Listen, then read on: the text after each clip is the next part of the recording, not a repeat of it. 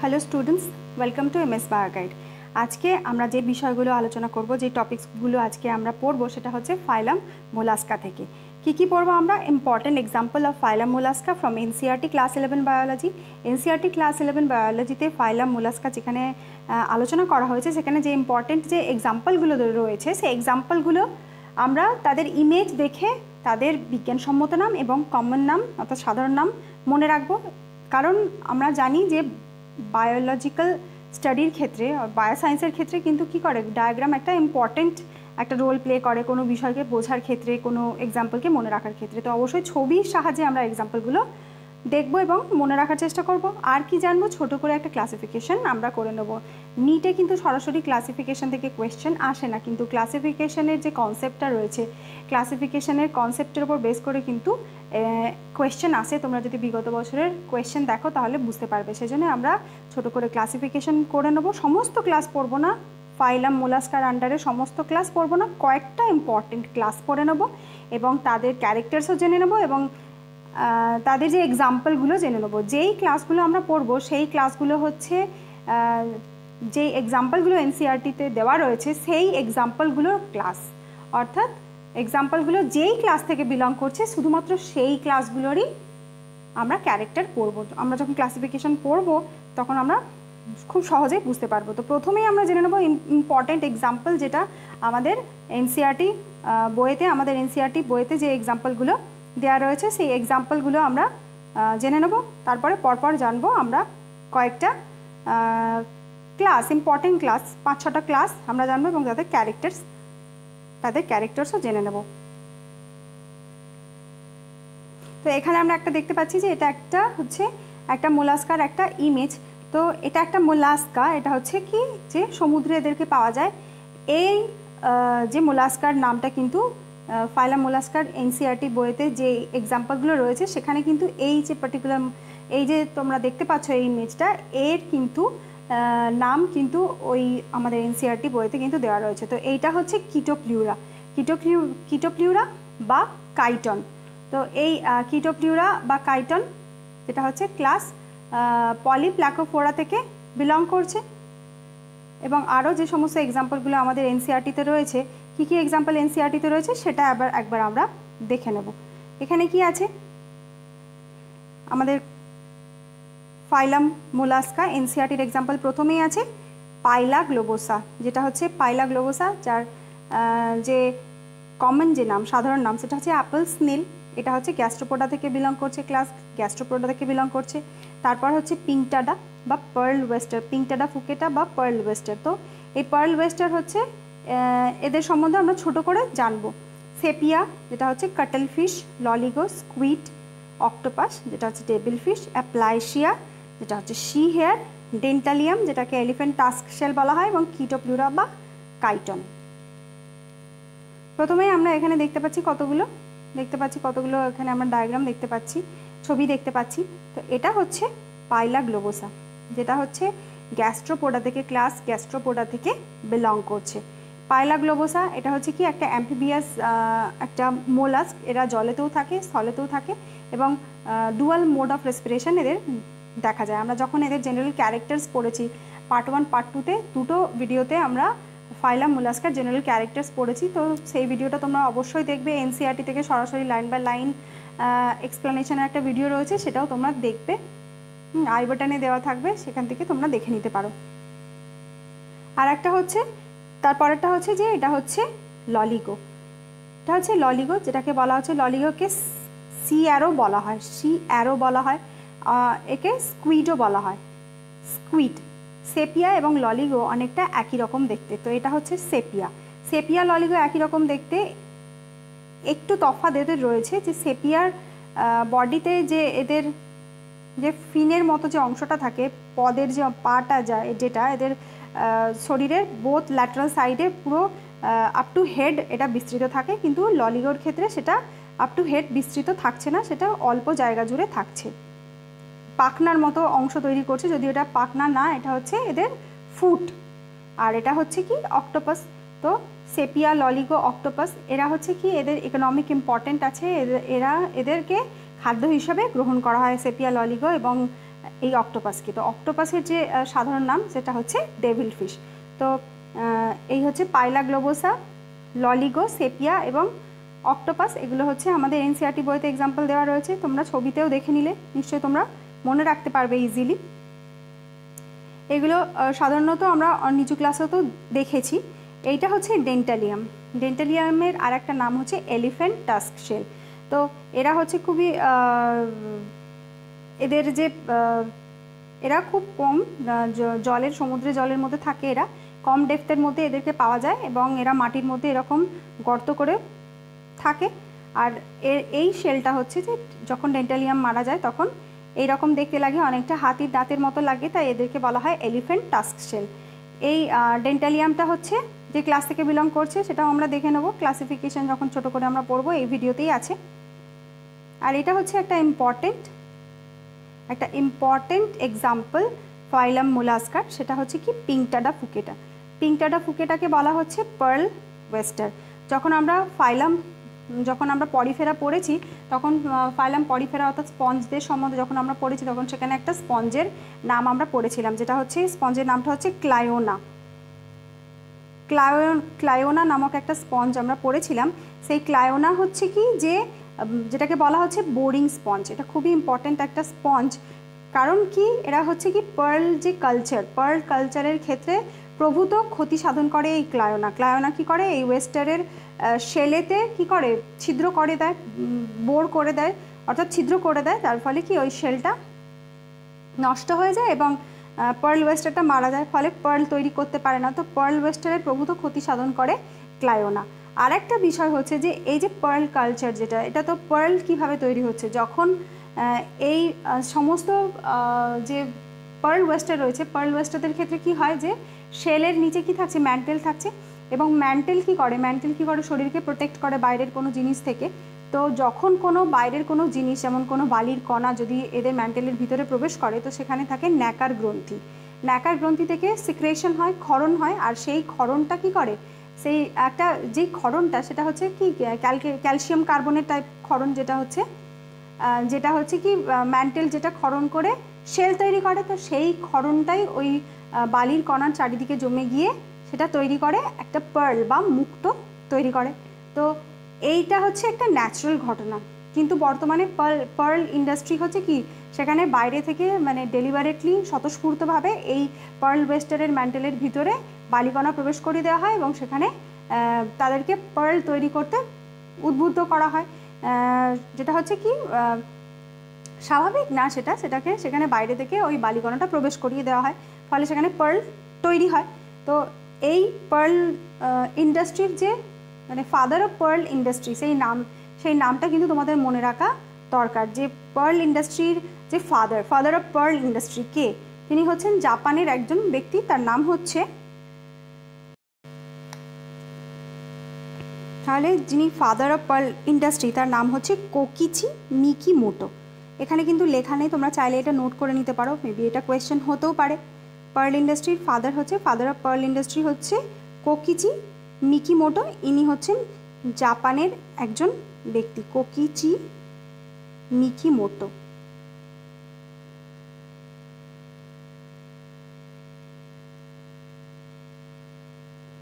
কোকিচি Mickey মোটো ইনি হচ্ছেন father of pearl industry. আর পিঙ্ক টাটা ফুকেটা, যেটা হচ্ছে একটা ইম্পর্টেন্ট মোলাস্ক ইকোনমিক্যালি ইম্পর্টেন্ট ভীষণভাবে পিঙ্ক টাটা ফুকেটা, সেটা হচ্ছে পার্ল ওয়েস্টার। আর একটা ইম্পর্টেন্ট এক্সাম্পল যেটা আমাদের এনসিআরটিতে দেওয়া রয়েছে, সেটা হচ্ছে কি সি হেয়ার। তো এটা একটা সি হেয়ার অ্যাপ্লাসিয়া এটা হচ্ছে একটা গ্যাস্ট্রোপোর্ট যেই ক্লাস থেকে পাইলা গ্লোবোসা যেটাকে আমরা অ্যাপেল স্নেল বলি। তো সেই ক্লাস থেকে এটা বিলং করছে। আর এটাকে আমরা সি হেয়ার কেন বলছি? অর্থাৎ সমুদ্রের খরগোশ কেন বলছে? কারণ খরগোশের মতো, এদের খরগোশের কানের মতো লম্বা লম্বা এরকম টেন্টাকল থাকার জন্য এদেরকে সি হেয়ার বলছে। তো এরা আকারে বেশ বড় হয়ে থাকে আর এদের কোনো এক্সটার্নাল শেল কিন্তু থাকে না। এদের ছোট ইন্টারনাল শেল থাকে। অ্যাপ্লাসিয়ার ক্ষেত্রে একটা ইন্টারনাল শেল থাকে। অর্থাৎ বডির ভেতরে কিন্তু শেল অর্থাৎ এদের বডির ভিতরে শেল বর্তমান থাকে। শেল অর্থাৎ যে খোলকটা সেটা সবসময় কিন্তু বাইরে নাও থাকতে পারে মোলাস্কাদের ক্ষেত্রে। কখনো কখনো শরীরের ভেতরেও থাকে, আবার কখনো কখনো একেবারে অবর্তমান থাকতে পারে এই শেল আমরা অ্যাপেল স্নেলের ক্ষেত্রে কি দেখি যে বাইরের শরীরটা বাইরে একটা খোলকে মোড়া থাকে। আর সেই খোলকটা কি হয়? কয়েলড হয়। তো শেল সবসময় কয়েলড হয় না, কখনো ফ্ল্যাট হয়, কখনো খণ্ডিত হয়। বিভিন্ন ধরনের শেল কিন্তু মোলাস্কাদের ক্ষেত্রে দেখা যায়। তো অ্যাপ্লাসিয়া যেটা হচ্ছে সি হেয়ার সেখানে কিন্তু ইন্টারনাল শেয়ার দেখা যাচ্ছে, আর অ্যাপ্লাসিয়া হচ্ছে কি? এদেরকে বলা হয় সমুদ্রের খরগোশ। এটা হচ্ছে অ্যাপ্লাসিয়া। তো ছবিগুলো দেখলে নিশ্চয়ই কিন্তু তোমরা খুব, তোমাদের খুবই সহজ হবে এই এক্সাম্পলগুলো মনে রাখা। কারণ এক্সাম্পলগুলো হচ্ছে খুবই ইম্পর্টেন্ট এক্সাম্পল থেকে বারবার কিন্তু কোয়েশ্চেন আসে নিটে এরপর আমরা চলে যাব ছোট করে এদের ক্লাসিফিকেশানে শুধুমাত্র ইম্পর্টেন্ট যে ক্লাসগুলো রয়েছে, সেই ক্লাসগুলো আমরা জেনে নেব। তো প্রথম যে ক্লাসটার নামটা আমরা জানব সেটা হচ্ছে মোনোপ্ল্যাকোফোরা মোনোপ্ল্যাকোফোরার কথার অর্থ হচ্ছে যে ওয়ান প্লেট এই ক্লাস থেকে কিন্তু কোনো এক্সাম্পল আমাদের এনসিআরটিতে দেওয়া নেই, কিন্তু মোনোপ্ল্যাকোপোরা আমরা এই জন্যই পড়ছি, কারণ এটা হচ্ছে কি, এই যে সমস্ত, এই ক্লাস থেকে যে সমস্ত মোলাস্কাগুলো আছে বিলং করছে, সেই সমস্ত মোলাস্কাগুলো কিন্তু জীবন্ত জীবাশ্মের মতোই। কারণ এরা সুদূর অতীতে এদের জন্মগ্রহণ করলেও এরা কিন্তু বর্তমানে এখনও পর্যন্ত বেঁচে রয়েছে। এদের সমসাময়িক জীবের কিন্তু অবলুপ্তি ঘটেছে। সেজন্য এরা বিশেষভাবে পরিচিত হচ্ছে এই মোনোপ্ল্যাকোপোরা এদের ছোট্ট একটা ক্যারেক্টার আমরা জেনে নেব। এদের হচ্ছে কি? এদের যে শেলটা এদের শেলটা হচ্ছে একেবারে আনডিভাইডেড শেল চাকতির মতো শেল থাকে এদের। আর এরা সমুদ্রের তলায়, সমুদ্রের বটমে অর্থাৎ এই ধরনের থাকে। শেলটা এই ধরনের থাকে। একদম আর এই মোনোপ্ল্যাকোপোড়া থেকে কিন্তু কোনো এক্সাম্পল পড়ারও দরকার নেই, কারণ এনসিআরটিতে দেওয়া নেই যেহেতু, কিন্তু শুধুমাত্র এই ধরনের এই জন্যেই মনে রাখব মোনোপ্ল্যাকোপোড়া যেহেতু এটা হচ্ছে কি ফসিল মোলাস্কা এরা হচ্ছে ফসিল না সরি এটা হচ্ছে জীবন্ত জীবাশ্ম ধরনের। তো সেই জন্য এদেরকে বলা হচ্ছে কি এদের একটা ইম্পর্ট্যান্ট রয়েছে, যেটা হচ্ছে কি এদের যে শেলটা সেটা হচ্ছে ক্যাপ লাইক টুপির মতো এদের শেলটা আর আনডিভাইডেড কোনো ডিভিশন নেই, কোনো কয়েলও নেই, আর এরাদেরকে পাওয়া যাচ্ছে কোথায়? বটম অফ সিতে পাওয়া যাচ্ছে। Cap like undivided shell and live on the bottom of the sea they were well known as a fossil group from the Caribbean to the Devonian তাহলে ফসিল গ্রুপ হিসাবে এদেরকে ক্যাম্ব্রিয়ান থেকে এবং Devonian যে geological যে time scale রয়েছে, সেখানে তোমরা যদি জানো জিওলজিক্যাল টাইম স্কেল কী? সেখানে গেলে তোমার এই ক্যাম্ব্রিয়ান ডেবোনিয়ান এই সমস্ত এজগুলোর নাম তোমরা জানতে পারবে। তো সেই সমস্ত, সেই টাইম থেকে এদেরকে কিন্তু জানা যায়। তো এদের এক্সাম্পল পড়ারও কিন্তু কোনো প্রয়োজন নেই। শুধুমাত্র এই মোনোপ্ল্যাকো পোড়াটা কি? কারণ এদের এদের বডিটা হচ্ছে cap like single shell undivided shell দ্বারা গঠিত, তাই এদেরকে বলা হচ্ছে মোনোপ্ল্যাকোফোরা এরপরে আমরা এসে যাব পলিপ্ল্যাকোফোরাতে পলিপ্ল্যাকোফোরা হচ্ছে কি? অনেকগুলো প্লেট দ্বারা এদের শেল গঠিত, অর্থাৎ শেলটা হচ্ছে ডিভাইডেড এই ক্লাস থেকে একটা এক্সাম্পল আছে আমাদের এনসিআরটিতে ফাইলাম মোলাস্কায় এদের যে ক্যারেক্টার সেটা হচ্ছে কি? এদের ক্যারেক্টার হচ্ছে কি? কোনো চোখ এবং টেন্টাকাল নেই। নো আইজ অ্যান্ড টেন্টাকাল টেন্টাকালও নেই, চোখও নেই। Shell as eight calcareous dorsal plate আমরা যে ছবিটা আর একবার দেখে নিই, যেটা হচ্ছে কি? কাইটন এক্সাম্পল কি? এই পলিপ্লাকোফোরার এক্সাম্পল হচ্ছে কাইটন বা কিটোপ্লিউরা আমরা একবার ছবিটা দেখে নেব। এটা হচ্ছে কাইটন বা কিটোপ্লিউরা যেটা হচ্ছে পলিপ্লো পলিপ্লাকোফোরা থেকে বিলং করছে। আর এখানে আমরা দেখতে পাচ্ছি যে এদের যে শেলটা রয়েছে, সেই শেলটা হচ্ছে কি? যে অনেকগুলো ভাগ আছে শেলটা। শেলটা হচ্ছে ডিভাইডেড শেল হচ্ছে ডিভাইডেড এটা হচ্ছে কিটোপ্লিউরা বা কাইটন, যেটা হচ্ছে পলিপ্ল্যাকোপোরা থেকে বিলং করছে। ক্লাস পলিপ্ল্যাকোপোরা থেকে বিলং করছে। এই এই কিটোপ্লিউরার ক্ষেত্রে কি দেখা যাচ্ছে? এই কিটোপ্লিউরার ক্ষেত্রে যে শেলটা রয়েছে, সেটা হচ্ছে এইট ক্যালকেরিয়াস ডরসাল প্লেট দ্বারা গঠিত। কিটোপ্লিউরার শেলটা এইট ক্যালকেরিয়াস ডরসাল প্লেট দ্বারা গঠিত। এখানে শেলগুলো হচ্ছে শেলটা হচ্ছে ডিভাইডেড এরপর আমরা পরের ক্লাসে চলে যাব, যেটা হচ্ছে স্ক্যাপোফোডা স্ক্যাপোপোডা হচ্ছে কি? স্ক্যাপোপোডা থেকেও একটা এক্সাম্পল রয়েছে, যেটা হচ্ছে ডেন্টালিয়াম এই স্ক্যাপোপোডা থেকে বিলং করছে যে ডেন্টালিয়াম সেটাকে ডেন্টালিয়াম যেটা, সেটাকে এলিফেন্ট টাস্ক সেল বলা হয়। কারণ দেখতে অনেকটা হাতির দাঁতের মতো। আর এদের যে টাস্ক এদের যে শেলটা সেটা দুটো সাইডে কিন্তু ওপেন হচ্ছে। Body within a tubular shell open at both ends তাহলে এদের ক্ষেত্রে কি হচ্ছে? এদের যে বডিটা থাকছে, এই মোলাস্কের বডিটা থাকছে একটা কি টিউবের মতো টিউবের মধ্যে থাকছে আর দুদিকেই হচ্ছে ওপেন হচ্ছে আর দেখতে অনেকটা হাতির দাঁতের মতো। তাই এদেরকে বলা হয় এলিফেন্ট টাস্ক সেল আর দুদিকেই খোলা থাকছে। একদিকে বন্ধ থাকে, আমরা গ্যাস্ট্রোপোডার ক্ষেত্রে কি দেখি? এটা হচ্ছে স্ক্যাপোপোডা আর গ্যাস্ট্রোপোডার ক্ষেত্রে আমরা কি দেখি যে শেল একদিকে খোলা থাকে, আবার অনেক সময় শেলের মুখটা কিন্তু অপারকিউলাম দ্বারা বন্ধ হয়ে যায়। আমরা যেটা গ্যাস গ্যাস্ট্রোপোডা বা অ্যাপেল শ্রেণির ক্ষেত্রে আমরা দেখি যে ফুটের সাথে একটা কি থাকে? একটা অপারকিউলাম থাকে, আর তারা ভয় পেলে কি হয়? ওই মোলাস্কটা সেলের মধ্যে সম্পূর্ণভাবে বন্ধ হয়ে যায়। কিন্তু এদের ক্ষেত্রে দুদিকেই বোধ সাইড হচ্ছে। খোলা থাকছে আর এরা হচ্ছে মেরাইন মোলাস্ক সমুদ্রে এদেরকে পাওয়া যায়।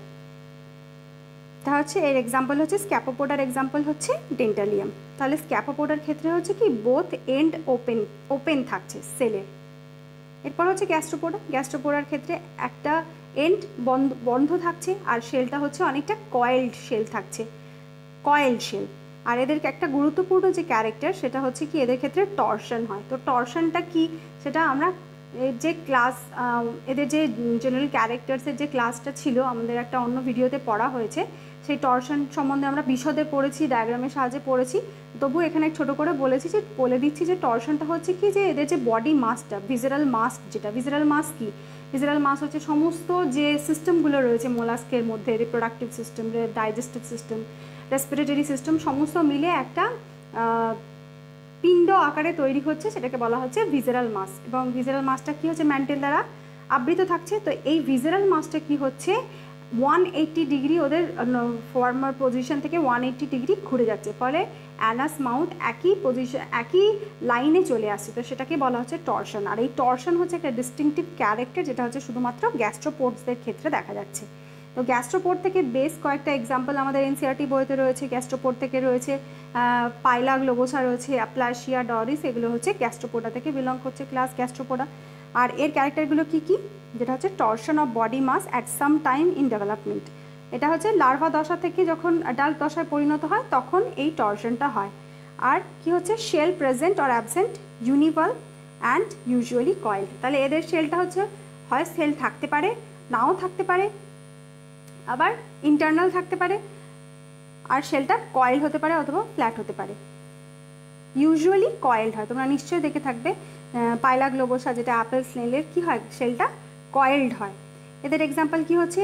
ডরি পায়লা যেটা যেটা হচ্ছে অ্যাপেল স্নেল তারপরে হচ্ছে ডরিস ডরিসকে বলা হয় সি লেমন অ্যাপ্লাশিয়া যেটা হচ্ছে সি হেয়ার যেটা আমরা আগেই এর ছবিটা আমরা দেখে নিয়েছি অ্যাপ্লাশিয়া সি হেয়ার তো অ্যাপ্লাশিয়া বা সি হেয়ারের ক্ষেত্রে কি হচ্ছে একটা বিশেষ ব্যাপার রয়েছে যেটা হচ্ছে কি যে এদের যে শরীরের এদের যে শেলটা সেটা হচ্ছে কি শরীরের ভিতরে থাকে। অ্যাপ্লাশিয়ার ক্ষেত্রে শরীরের ভিতরে থাকে, এদের ক্ষেত্রে ইন্টারনাল শেল দেখা যাচ্ছে অ্যাপ্লাশিয়ার ক্ষেত্রে ইন্টারনাল শেল দেখা যাচ্ছে। এই অ্যাপ্লাশিয়া কি হচ্ছে? অ্যাপ্লাশিয়া যেটাকে সিহার বলছে, সি হেয়ার, এটা হচ্ছে যখন ডিস্টার্ব হয়, কোনো কারণে যদি ডিস্টার্ব হয়ে যায়, কোনো ভয় পেয়ে যায়, তখন কি হয়, এরা একটা পার্পল কালারের অর্থাৎ বেগুনি রঙের একটা ফ্লুইড এরা এদের শরীর থেকে বের করে। ফলে এদের যে এদের যে প্রেডেটার আছে কিংবা এদের যে শত্রু যেটা আছে, শত্রুর হাত থেকে এরা আত্মরক্ষা করতে পারে, জলটা ঘোলা হয়ে যায় এবং তারা সহজে সেখান থেকে সরে পড়তে পারে, যেটা হচ্ছে অ্যাপ্লাসিয়া করে। আর এর পরের আমরা যে ক্লাসটা সেটা হচ্ছে চলে যাব বায়োভ্যালবিয়ার ক্ষেত্রে। বায়োভ্যালবিয়া হচ্ছে, এর আর একটা যে নাম হচ্ছে সেটা হচ্ছে ল্যামেলি ব্র্যাঙ্কি তো এখান থেকে এই ল্যামেলি ব্র্যাঙ্কি এই ওয়ার্ডটা তুলেই কিন্তু নিটে কোয়েশ্চেন এসেছে, যেটা হচ্ছে ক্লাসের একটা নাম, যেটা হচ্ছে বায়োভ্যালবিয়া এবং ল্যামেলি ব্র্যাঙ্কি তো সেখানে চারটে অপশন দিয়ে দেওয়া রয়েছে যে কোন কোন অপশানটা হচ্ছে, যেটা হচ্ছে আনসার হবে, যেটা হচ্ছে ল্যামেলি ব্র্যাঙ্কি থেকে বিলং করছে। তো এরকম কোয়েশ্চেন এসেছে। সরাসরি ক্লাসের নাম ধরে কিন্তু কোয়েশ্চেন এসেছে। তো তোমরা ক্লাসের ক্লাসিফিকেশনটাকে একদমই কিন্তু ইগনোর করে যাবে না। অবশ্যই একটু দেখে রাখবে যাতে করে কোন ধরনের কোয়েশ্চেনের আনসার তোমরা যেন না ছেড়ে আসো। এরপরে যে বাইভ্যালভিয়ার যে ক্যারেক্টার্সগুলো রয়েছে সেটা আমরা জেনে নেব। এদের ক্ষেত্রে কী হচ্ছে? বাই ভ্যালভ অর্থাৎ এদের শরীরে দুটো ভাল্ভ থাকে। তোমরা নিশ্চয়ই দেখে দেখে থাকবে ফ্রেশ ওয়াটার যে মাজার যেটা ঝিনুক বাজারেও বিক্রি হয়, অনেকে খাদ্য হিসেবে গ্রহণ করে। তো সেখানে দুটো ভাল্ভ থাকছে, অর্থাৎ দুটো খাপের মতো অংশ থাকছে এদের শরীরে। আর body enclosed in a bivalve shell and laterally compressed এদের বডিটা হচ্ছে কি? দুটো শেলের দ্বারা আবৃত থাকে, এরকম দুটো শেল থাকে। এরকম দু ধরনের, এই সাইজের এরকম এই ধরনের দেখতে দুটো শেল থাকে। আর এদের শেলটা হচ্ছে কি? বাইল্যাটারালি এরা হচ্ছে ল্যাটারালি কম্প্রেসড থাকে। এদের শরীরটা হচ্ছে কম্প্রেসড থাকে, চাপটা হয়ে যায়। এই ইউনিও এর নাম হচ্ছে কি? এর বিজ্ঞান সম্মত নাম হচ্ছে ইউনিও। তো ইউনিওর ক্ষেত্রে অর্থাৎ এই বাইভ্যাল বিয়ার যে একটা এক্সাম্পল যেটা হচ্ছে ইউনিও যেটা হচ্ছে ফ্রেশ ওয়াটার মাসেল তো এর ক্ষেত্রে দুটো শেল দেখা যাচ্ছে এবং এই ক্লাস থেকে বিলং করে একটা এক্সাম্পল এখানে কিন্তু আমাদের এনসিআরটিতেও দেওয়া রয়েছে, যেটা হচ্ছে পার্ল ওয়েস্টার তো পার্ল ওয়েস্টার এই বাইভ্যালভিয়া বা ল্যামেরি ব্র্যাঙ্কি থেকে বিলং করছে। আর এদের ক্ষেত্রে নো হেড টেন্টাকলস আই তাহলে কোনো হেড থাকছে না টেন্টাকলস থাকছে না, চোখও থাকছে না আইও থাকছে না। তো এর এক্সাম্পলগুলো কি হচ্ছে? এর এক্সাম্পল হচ্ছে পার্ল ওয়েস্টার যেটা আমরা আগেই দেখলাম। পার্ল ওয়েস্টার যেটার বিজ্ঞানসম্মত নাম হচ্ছে পিঙ্কটাটা ফুকেটা ইউনিও যেটা হচ্ছে ফ্রেশ ওয়াটার মাজল এবার পরের যে ক্লাস রয়েছে সেটা হচ্ছে কি? সেফালোপোডা সেফালোপোডার অর্থ হচ্ছে কি? যে সেফালো কথাটার অর্থ হচ্ছে যে হেড আর পোডা কথাটার অর্থ হচ্ছে যে পা।